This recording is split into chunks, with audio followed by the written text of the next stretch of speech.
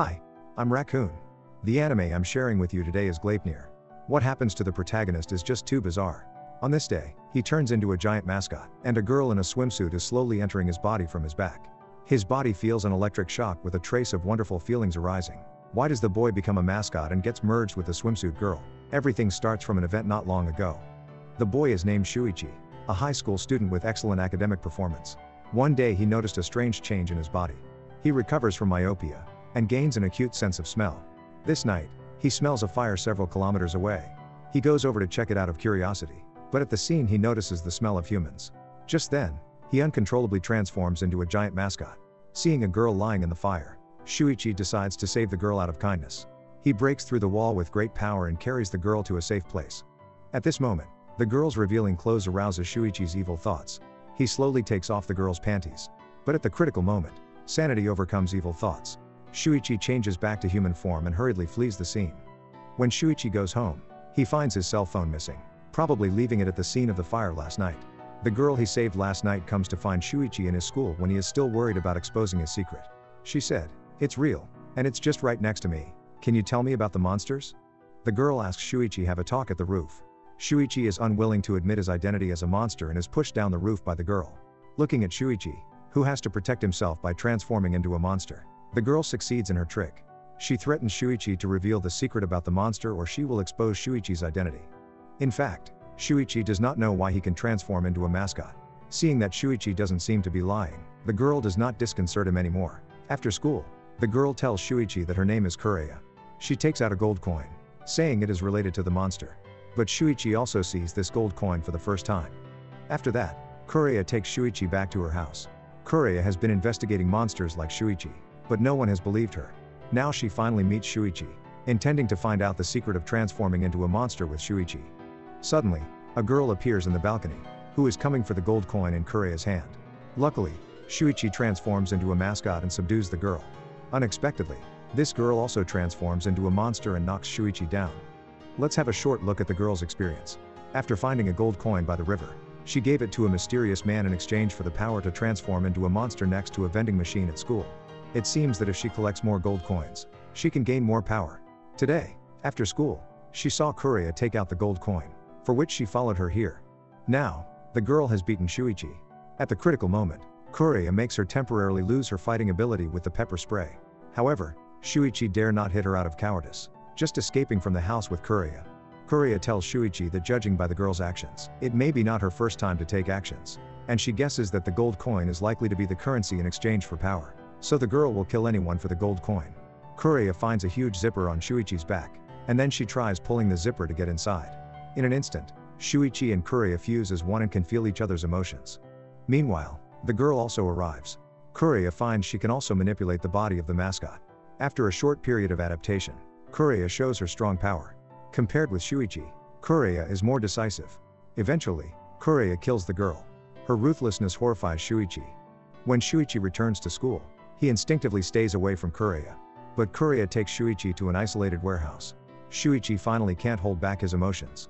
He wonders why he can transform into a monster and fears that he will die at any moment after encountering a girl who is also a monster.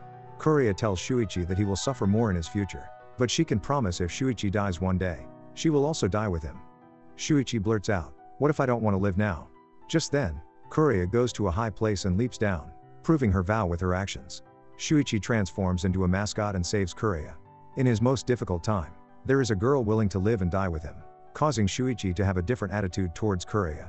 Kureya confesses everything to Shuichi, saying that she has actually been looking for her sister, Arena, who is also a monster just like Shuichi, but she disappeared after killing her parents. Kureya takes Shuichi back home and goes into Shuichi's body once again. They find they can control this body together and feel each other's emotions. Afterwards, Kureya tells more of the story. Six months ago, Kureya returned home only to see her parents murdered. At the scene, she found a horrible black shadow resembling her sister, and it handed a gold coin to Kureya. She hates her sister killing her parents, and now what she wants to do is to find her sister. Kureya knows Shuichi has an amazing sense of smell, so she takes out the clothes her sister wore before and asks Shuichi to smell them, trying to track down her sister by this means. In exchange, Kureya has to help Shuichi find the reason why he transforms into a monster. Shuichi is terrified after smelling the clothes, because he learns that her sister seems to have killed countless humans, which makes Kureya more convinced that her sister is the murderer. and she insists on taking revenge on her sister. Afterwards, they start their journey to find Kureha's sister. They purchase the necessary supplies and wander around the city. Unexpectedly, Shuichi really smells the scent of Erena. Kureha controls the body to hide in the shadows, waiting for the opportunity to shoot her sister. Shuichi reads Kureha's minds that she still has affection for her sister, and he stops her because he doesn't want Kureha to feel regretful. Erena senses the danger and instantly transforms into a terrifying black shadow, enveloping Shuichi. But when seeing Shuichi's face, Erena has tears in her eyes and looks a little shy. She guesses that Shuichi comes to kill her, and asks him to talk in a different place. Her words even dismay Shuichi more. She says apologetically, I would like to get killed by you. Because she is the one who caused Shuichi to become a monster. It shocks Kureha. She can no longer hold back and makes a sound. Erena finds there is another woman hiding in Shuichi's body, instantly transforming into a horrible black shadow in a rage. She shouts that position belongs to her, then directly pulling off Shuichi's head. Kureha shoots at Erena out of anger, only to cause no damage at all. Instead, she is subdued by Arena. When Kureha asks Arena why she killed her parents, Arena replies that their parents are not good people. Their father, a counselor, is secretly doing bad things everywhere, and their mother is cheating on their father with a younger man as well. Didn't Kureha also say that one day she would kill her parents? Erena just helps Kuria achieve her goal in advance. At first, Erena needs Kuria's protection, but now Erena can protect Kuria. Then, Erena leaves another gold coin to Kuria, reminding her to take it to the school hotel. At this moment, Erena receives a phone call and leaves in a hurry. Thinking that Shuichi is dead, Kuria is about to keep her words to live and die together. At this moment, the mascot's head makes a sound aside. It turns out that Shuichi is still alive. Kuria hugs Shuichi and cries. They take the gold coin to the school hotel. Here they meet a mysterious man, who tells them that it was lucky that Shuichi didn't turn back to human form when his head was pulled off, or he would really die. Then, he takes the gold coin from Kureha's hand and cures Shuichi of his broken body. The mysterious man claims himself to be an Uchujin. In order to convince them of his identity, the mysterious man eats a hair from Kureha's body, and then he gets the appearance of Kureha. The mysterious man says that on his way back to his home planet, his spacecraft accidentally crashed into Earth. Since it was not easy to move their bodies during the long journey, the Uchujins compressed themselves into gold coins. After the spacecraft crashed, the gold coins were scattered all over the Earth. It was inconvenient for him to find his partners alone, so he used humans on Earth to find the gold coins. As a reward, he can give them great power. The one who can collect 100 gold coins will gain amazing power. According to his words, Shuichi should also have exchanged gold coins for the ability to transform into a monster. But Shuichi has no recollection of it. After saying this, the Uchujin is unwilling to reveal more information. On their way home, Shuichi knows that Kuria still has a gold coin. He is worried that Kuria will also use it to transform into a monster. But Kuria's words warm Shuichi's heart that she promises not to use the gold coin because she has Shuichi now. When Shuichi returns home, he thinks seriously about what the mysterious man said, feeling that they cannot completely trust the mysterious man's words. Finally, they decide to investigate the truth on their own, and also look for traces of Erena. They go to the mountain where the Uchujin said the spaceship crashed. Kuria guesses normal human will never come to this remote mountain, and that those who will come here must be monsters who collect gold coins and they also need more gold coins to exchange information to find out the truth. Here they encounter the monster with horns, whose hands are blades. It is named Tadanori, a madman who upholds force. He is here not to collect gold coins, but to find a suitable opponent for fighting. Although they are still no match for Tadanori after they combine with each other, Kureha finally defeats Tadanori with her intelligence. Kureha's fighting talent completely conquers Tadanori, and she invites this man to help her collect gold coins. Just then, a big-headed monster taking photos secretly suddenly appears. The monster threatens to expose their true identities in the city if they do not follow his orders. Just then, Tadanori slashes at him. Kureha sees a group of people from the monster's cell phone and comes up with a new idea. Kureha guesses that her sister, Erena, must have accomplices as well and will also go into the mountain to collect gold coins. As she and Shuichi are still too weak, Kureha finds the people in the phone and threatens to reveal their identity. Finally, she manages to join their group. The leader of these people is a girl named Sayaka. In order to gain their trust, Kureha confesses her purpose is to take revenge on her sister, Arena. Unexpectedly, Sayaka also knows Arena. She promises to do her best to find Arena. But Sayaka asks Kureha to keep it as a secret. In fact, their purpose of going into the mountain is to stop those monsters from collecting 100 gold coins and getting superpower from the Uchujins, or else the human world will be in chaos.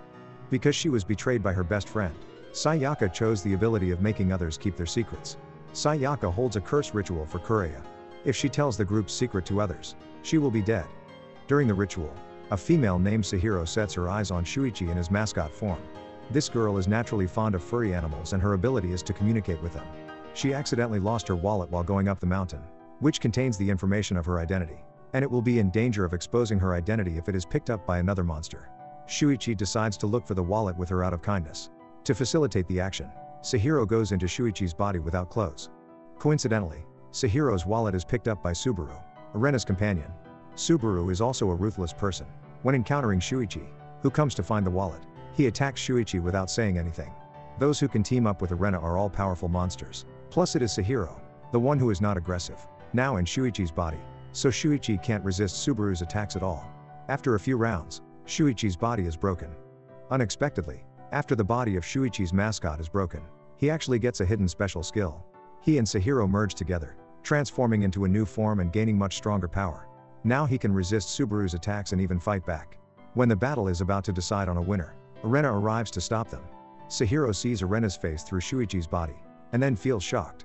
In the process of merging just now, she read the memories of Arena in Shuichi's mind. It turns out that Shuichi and Arena have known each other for a long time. Sahiro stops Shuichi, who still intends to launch an attack, and Arena leaves here with Subaru. As a memory emerges in Arena's mind, we discover that it was Arena who took the gold coins and asked the Uchujin to turn Shuichi into a mascot monster. At this moment, Kureha finally finds Shuichi, who crumples up on the floor. For some reason, Shuichi only remembers that his body was broken after the battle with Arena's companion, and he forgets everything happened afterwards. But Sahiro conceals it though she remembers. Everyone thinks other forces joined the battle later, so Shuichi is safe and sound. After that, Sayaka also holds a curse ritual for Shuichi to keep the secret. Kureha goes to find Sahiro alone. She knows Sahiro is lying, but Sahiro still tries to conceal it. In order to show her position, Kureha says that only she can make Shuichi play superb fighting power. Kureha just whispers, You and Shuichi are really not the same type, and you can never combine with Shuichi as one. It seems that since having merged with Shuichi, Sahiro knows more secrets about Shuichi's body. At night, when returning to the city, Sahiro calls Arena. It turns out that after the merging not long ago, Sahiro and Shuichi's bodies and minds are fused together, including Arena's phone number. In Shuichi's memory, a black shadow appears frequently. She can know it is exactly Arena from a third person perspective. And Arena seems not a bad person in Shuichi's memory but a unique presence. So Sahiro asks Arena to stop others from collecting the 100 gold coins and stop the world's disaster with her. Arena can't help having moist eyes when she hears Sahiro talking about herself in Shuichi's memory. However, she reminds Sahiro that 100 gold coins are not that hard to collect, and someone may have already collected them. She has her own purpose, so she cannot be Sahiro's companion. Next day, after discussing, several people of Kureha's team find it will be particularly difficult to search for gold coins aimlessly in the mountain. So they decide to head to the location where the spaceship crashed. It may be easier to collect gold coins there. On their way into the mountain, they notice the monster's trace. Few people in their group possess the ability to fight, so they decide to detour, which is exactly the monster's trick. They walk on a much flatter road, giving the monsters a better view to observe them. Soon, there is a centipede like monster catching up with them. It grabs Sayaka, asking them all to join their monster team. Then he throws out a head and threatens to kill everyone if they don't join the team. It angers one of the members, Yoda. What he hates most is the evil one oppressing the weak. He and Shuichi are the only madmen in this team who have the ability to fight. This centipede monster is quickly defeated by Yoda in a rage. Shortly after, the leader of the monster team, Madoka, pulls off one of his hard teeth to heal the centipede monster. With the help of the monster team, Madoka finds Kureha's team. He transforms into a terrifying giant ape and beats Kureha's team so hard that they can't strike back. Originally, they still try their best to fight, but soon they lose the courage to resist when they see many monsters coming around. Madoka unhurriedly says their aim is to collect gold coins together and then give them all to Madoka, so that Madoka can gain the most powerful power and help them fulfill their wishes. Madoka asks Kuria's team to join them, but her team hurt the members of the monster team just now, so now they have to sacrifice one of their members, which is their initiation ritual. Madoka deliberately leaves them some time to think. At the critical moment, Kuria takes out the oleander seeds, asking Isao, who has the ability to make plants grow fast, to germinate these seeds quickly to grow into a profusion of flowers. After that, she's gonna do something particularly crazy. Shuichi has already noticed what she thinks. He hugs Kuria tightly, expressing his willingness to take on everything that happens next with Kureha. Afterwards, they burn all the oleanders, which is a peculiar plant that it will produce a strong poison when it is burning by which Kureha attacks the monster team. Ikuchi, who is unaware of the plan, wants to join the monster team, so he tells their plan, who is strangled to death by Sayaka's curse. When chasing after them, the leader of the monster team, Madoka, finds his companions incapacitated. Finally, The monster team are killed and injured. Madoka is unwilling to abandon his injured companions, so he dies as well. This incident comes as a terrible blow to the Kureha's team. They decide to disband the team for a time being and go down the mountain by another route. Shuichi, who returns to campus, finds his best friend missing. Soon after, his best friend's body floats down from the river in the mountain with his body burnt. Shuichi realizes that his best friend is also a member of the monster team, and that some of the people around him have got involved in the accident. He furiously finds the Uchujin, denouncing his violence and asking him to stop this disaster. But the Uchujin just tells Shuichi this game has already been out of control. If Shuichi wants to stop it, he can promise not to do anything to interfere him. Shuichi leaves and then comes to a remote place. He finds someone has been following him, who is exactly the only survivor of the monster team, and is the most loyal admirer of the leader. He comes to take revenge on Shuichi, but he is no match for Shuichi at all. At this moment, Shuichi receives a call from Kureha, who has something to discuss with Shuichi. Kureha hears there seems to be someone around Shuichi, and she is worried about Shuichi's safety. Unexpectedly, Shuichi just coolly replies, I'm fine. He then shoots and kills the enemy in front of him. Shuichi's personality has great change under the influence of the battles in Kureha. Now let's see Uchujin's part. He starts to think of the first human he encountered when he came to the earth. The girl's name is Honoka. After hearing about the Uchujin's request to collect gold coins to find his companions, she said that humans on Earth could help collect gold coins. And the Uchujin, in turn, could help those who collect gold coins fulfill their wishes with his own ability. Honoka also took out a photo of her companions, saying that she could invite them to help collect gold coins together. Unexpectedly, Shuichi and Arena are in the photo. They were in the same cram school before. Among them, Naoto and Aiko, was a couple. On this day, when they were having a party, Kaido noticed Honoka didn't come and learned the rumor that Honoka's father had been arrested for killing someone. The sudden disappearance of Honoka made Kaido, who had a crush on her, so sad. Aiko, however, persuaded Kaido to forget about Honoka. After that, Kaido still looked for Honoka everywhere, but he couldn't find her. He then recalled on the day of the party, Aiko touched her hair in the same way as Honoka, and he had also heard Naoto say that Aiko seemed to change a lot lately. So Kaido followed Aiko to find out if she knew about Honoka, but found the Uchujin instead who was collecting the gold coins. Kaido took his companions to the Uchujin and learned that Honoka used gold coins in exchange for becoming Aiko. She wanted to erase her identity and go on with her life as another person. Kaido guessed that Honoka had been secretly in love with Aiko's boyfriend, Naoto, so she killed Aiko and took her identity. It was so hard for Kaido to accept it, and he took it upon himself to avenge Aiko's death by secretly killing Honoka, who was living under Aiko's identity. But an event happened next completely broke Kaido down. Naoto found the note written by Aiko to Honoka making Kaido realize that Aiko ended her life by herself and was not killed by Honoka. Let's see Honoka's memories. It turns out that Aiko was a good and righteous student who often stopped bad students from bullying other students. However, many bad students took revenge on her. Finally, she was overwhelmed and ended her life.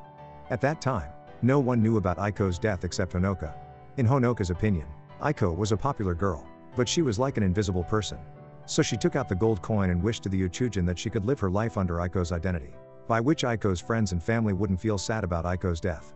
After that, Kaido took a gold coin and found the Uchujin to make a wish out of his self-blaming. Since then, a girl in white often appeared in the town, and she would ask people passing by who she was. Anyone who couldn't answer would be killed. Naoto, Shuichi and Arena sensed that this matter might be related to Kaido. If Kaido really did something wrong, they would stop him by using gold coins to exchange power with the Uchujin. Uchujin's memory ends here, and let's see Kureha's part.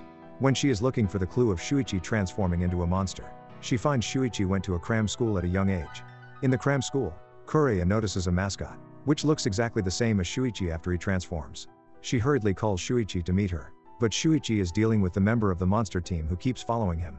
Kureha temporarily conceals the matter and finds an excuse to go to Shuichi's home, hoping to find more clues, only to find that Shuichi's house is messy, as if no one has lived there for a long time. But Shuichi does not even notice it. Kureha hurriedly asks Shuichi when was the last time he saw his parents. Soon, Kureha deduces from the clues that it was Arena who had killed Shuichi's parents and then changed Shuichi's memory with her ability. Just then, Shuichi sees the scene of Arena hugging him. He almost loses control and nearly hurts Kureha. At this time, the curses on their necks made by Sayaka suddenly disappear, and then the phone rings. It turns out that Sayaka decides not to get involved in any activity about monsters after discussing with others. Instead, they intend to live an ordinary life and give the gold coins to Kureha and Shuichi, who plan to continue tracing it. They agree to meet each other tomorrow afternoon.